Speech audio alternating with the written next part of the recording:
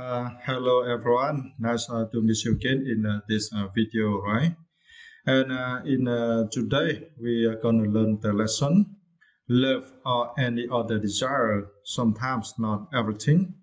After reading this lesson, I recognize it is so great, so that's why I really want to share with you. And firstly, I will read this lesson for you, and then I also uh, show my opinions, how I think about this uh, lesson. Uh, subsequently, I select several keywords and then I will explain the meanings for you. Okay, let's start learning English with me. Uh, love or any other desire sometimes not everything. Love is a priceless concept worth your sacrifice and reaching. If it's true love, but what if that love isn't what you always dreamed of? Is this worth the trade-off for many other things? Don't get so focused on just one aspect of your life that you forget about the others.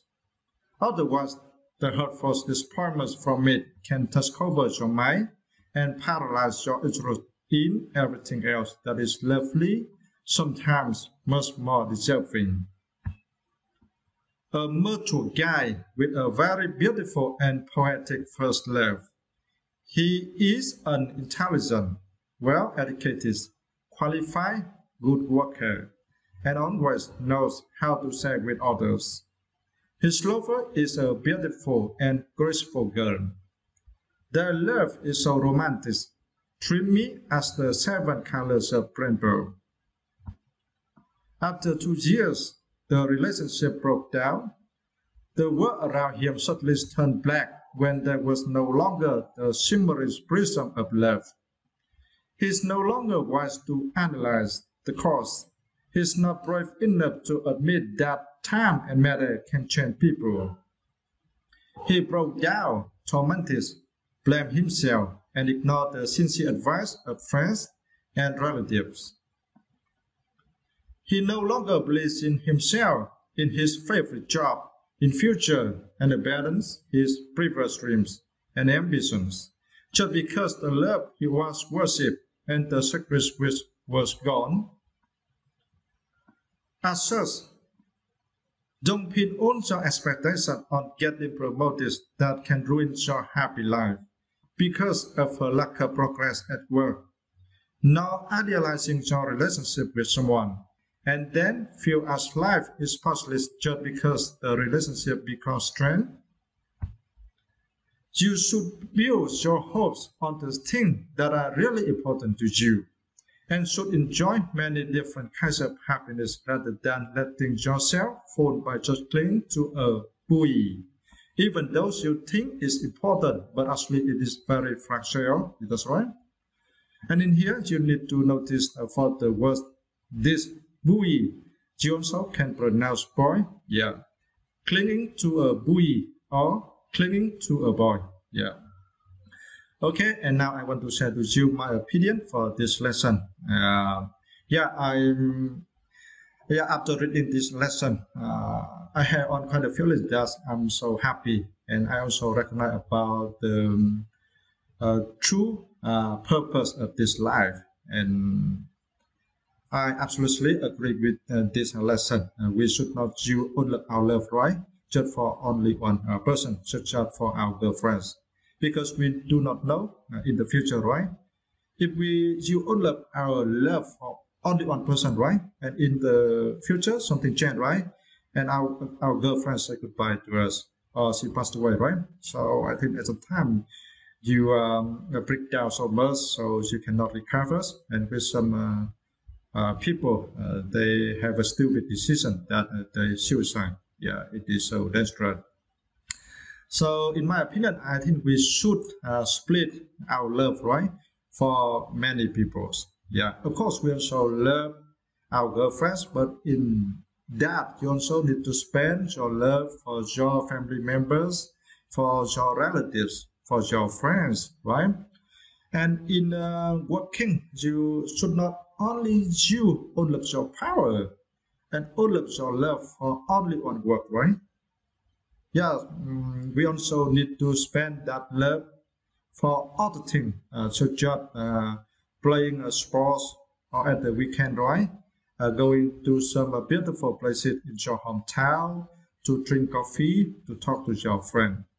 Because we do not know in the future if you use all of your powers, right, uh, for working, and you expect that, that in short time, around two or three years, you can uh, get uh, um, uh, one uh, position in uh, the companies, right? Uh, you really want to get, but um, if that expectation, right, cannot reach, so I think you will have one kind of a feeling that's like uh, for everything in uh, this life, it is um, possible to you. And uh, for some people, right, they also have a stupid decision that they um, leave everything. Yeah, they say goodbye to their job, right, and do not do anything. And they are drunk, drink so much beer or alcohol, and then uh, they damage uh, their life and also their career. So in my opinion, of course, we also work hard, right? And um, also love our work. But uh, we also need to spend our time, right, for other hobbies. Yeah. And uh, we also uh, should think that uh, perhaps in the future, uh, in working, right, everything uh, does not happen as our expectation, right? We, we cannot get the position we dream, right? But you should accept about that and should not think it is all about your life because you still have other things to carry to chat about your friends about your family members and everything else. Yeah. Okay it is my opinion for this uh, lesson and how do you think about this uh, lesson? Uh, please uh, share to us. Now we are going to learn the meaning of several keywords. Yeah of course selected by me. For the first phrasal. Yeah, for the first phrase, I want to share with you. Uh, trade up, it is uh, a phrasal verb, right? And here, the meaning in uh, Vietnamese. Trade up, uh, it means to balance two things or situations that are opposed to each other. And we have an example. Uh, they were attempting to trade up inflation against unemployment so through this uh, you understand that uh, for this uh, group, right? Yeah, of course, uh, they are official of the government, right?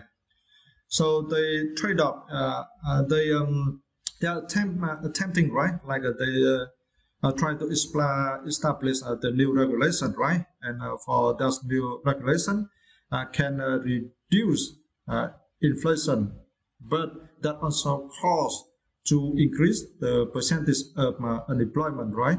But they trade off. Yeah, and that's about the meaning of this uh, sentence.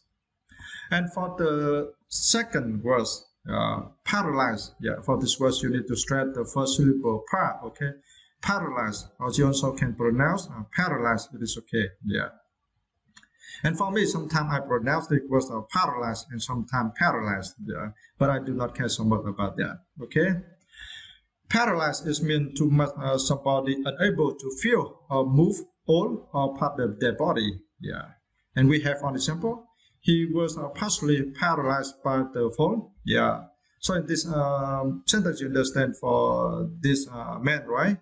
Uh, just uh, partially uh, of his uh, body, uh, to judge about his hand or his leg cannot move, right? Yeah, because of that fall. Yeah. So I think uh, for was so dangerous. So that's why part of his body, right, uh, can move such as the hands or the legs. Okay. And for the next word, uh, mature. Yeah. And for this word, you need to stress the second syllable. Tour. Okay. Mature. Yeah. Yeah, when we use the word mature, right, uh, for a person, a tree, a bird, or an animal, it means fully grown and developed. Yeah, it's meant about the word mature. Okay. We have an example. She tried to look mature and sophisticated. Yeah. She tries to look mature and sophisticated. And in this sentence, firstly, you need to understand the word uh, sophisticated, right? Sophisticated is mean um, you have um, a lot of experience um, with uh, related to the knowledge of uh, fashion and uh, culture. Yeah. But in here we understand, right? For this girl, she was not mature and sophisticated, but she just pretend, right? Uh, to look uh, mature and sophisticated. Okay. And we have another word, uh, admit. Yeah, for this word you need to uh, stress the second syllable. Meet. Okay. Admit. Yeah. And here's the meaning in Vietnamese, right? Um, admit, it, means to agree often unwillingly that something is true. And we have on an example. It was a stupid thing to do, I admit. Yeah.